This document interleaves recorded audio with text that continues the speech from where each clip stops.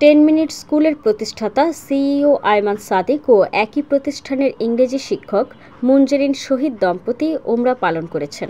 মঙ্গলবার বিকেলে আয়মান সাদিক তার ফেসবুক পেজে স্ত্রী মুনজেরিনকে সঙ্গে নিয়ে ওমরা পালনের একটি ছবি পোস্ট করেন। আয়মান ওই পোস্টের ক্যাপশনে লিখেছেন, লাভবাইক আল্লাহুম্মা লাভবাইক। পোস্টটি তার ভক্তদের মধ্যে ব্যাপক সাড়া ফেলেছে। একজন লিখেছেন, আলহামদুলিল্লাহ। আল্লাহ তাআলা সকলের দোয়া কবুল করুক। আমাদের সবার জন্য দোয়া করবেন ভাইয়া। আরেকজন লিখেছেন, খুবই ভালো লাগছে। দোয়া করি, আপনারাও দোয়া করবেন আমাদের সকলের জন্য। গত বছর সেপ্টেম্বর মাসে রাজধানীর মিরপুর ডিওএইচএস এর একটি মসজিদে পরিবার ও আত্মীয় স্বজনের উপস্থিতিতে আকত সম্পন্ন করে নেজুটি। এরপর তেইশ সেপ্টেম্বর সেনাকুঞ্জের হলরুমে অনুষ্ঠিত হয় তাদের বিবাহোত্তর সংবর্ধনা।